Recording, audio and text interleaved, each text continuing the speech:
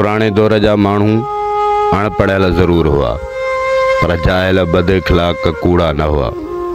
हिन दौर में माण्हू पढ़ियल लिखियल त आहिनि, पर जायल बद इख़लाक़ कूड़ा मुनाफ़िक़ जाम आहिनि। ईअं छो